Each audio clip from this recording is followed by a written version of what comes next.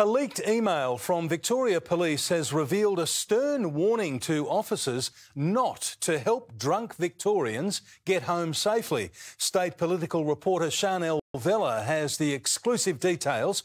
And Chanel, officers are being told to leave intoxicated people where they are, even in dangerous situations.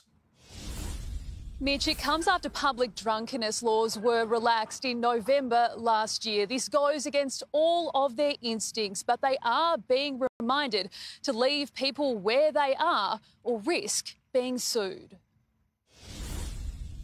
Months after public drunkenness was decriminalised, well meaning officers are still driving intoxicated people home. Victoria Police, they're there to protect people and they want to help the most vulnerable. That's prompted an email from Force Command reminding members when they can and can't help.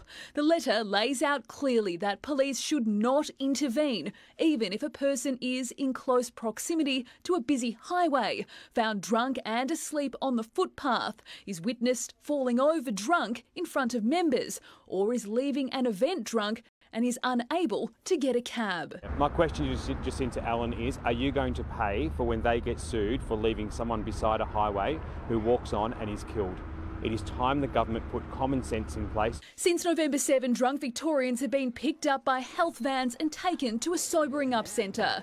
The state government says people who are intoxicated often need no help at all. Sobering centres are a place of last resort. Most people will be supported to travel home. We still maintain we have concerns about this legislation and the impact on our members. Um, those concerns haven't been addressed and remains. I beg you, please be careful. Don't get yourself in a position you can be sued.